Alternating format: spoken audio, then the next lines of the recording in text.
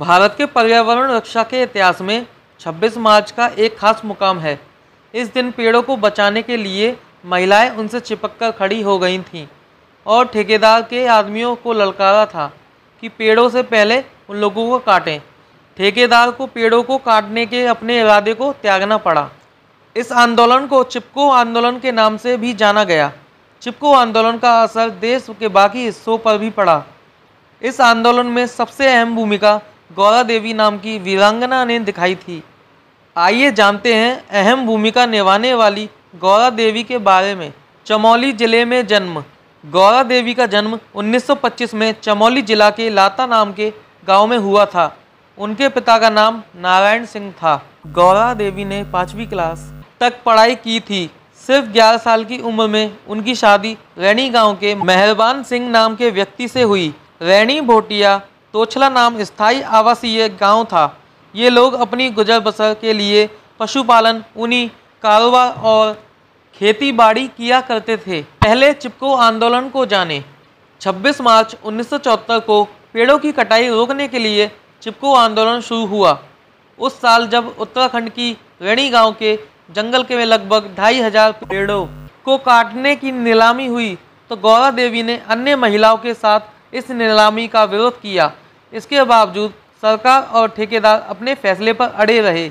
जब ठेकेदार के आदमी पेड़ काटने पहुँचे तो गौरा देवी और उनके 21 साथियों ने उन लोगों को समझाने की कोशिश की। जब उन्होंने पेड़ काटने की जिद की तो महिलाओं ने पेड़ों से चिपक कर उन्हें ललकारा कि पहले हमें काटो, फिर इन पेड़ों को भी काट लेना।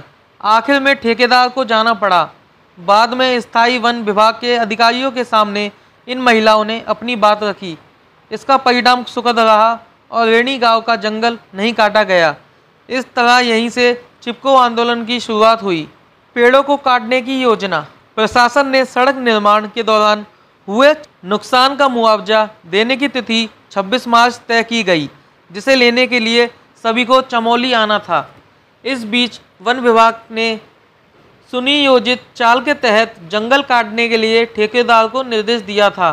26 मार्च को, चूँकि गाँव के सभी मर्द चमोली में रहेंगे तो सामाजिक कार्यकर्ताओं को बातचीत के बहाने गोपेश्वर बुला लिया जाएगा और आप मजदूरों को लेकर चुपचाप चले जाओ और पेड़ों को काट डालो।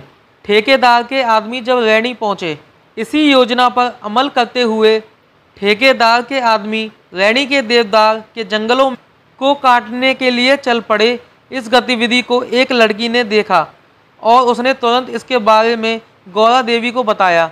गाँव में मौजूद 21 महिलाओं और कुछ बच्चों को लेकर वह जंगल की ओर चल पड़ी। इनमें बती देवी, महादेवी नृत्य देवी, लीलामती उमा देवी बाली देवी शामिल थीं। जंगल को बताया मायका।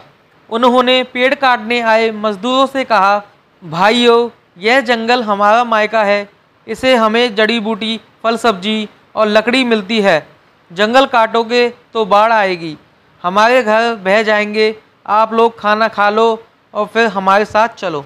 ठेकेदार और वन विभाग के आदमी उन्हें डराने धमकाने लगे। उन्हें कार्य में बाधा डालने में गिरफ़्तार करने की भी धमकी दी। लेकिन महिलाएँ नहीं डरी। ठेकेदार ने बंदूक निकालकर जब धमकाना चाहा तो गौरा देवी ने सामने आकर गरजते हुए कहा मारो गोली और काट लो हमारा मायका। इस पर मजदूर सहम गए।